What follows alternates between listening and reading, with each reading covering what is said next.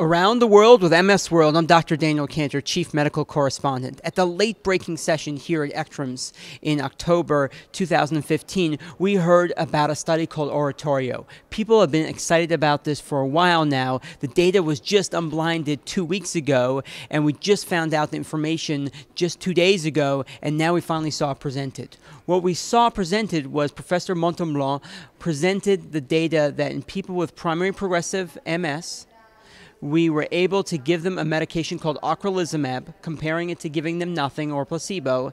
And what we were able to see with this infusible IV medication was that it was able to reduce some of the disability progression that was happening. This is exciting because we've never seen this before in multiple sclerosis. It's important to also be cautious. We have to be cautious because we have to learn more about the medicine in terms of people with progressive forms of MS. We have to learn more about different kinds of risks that might might be there. What was good is that we did not see major risks, but we always have to be more careful and further study things.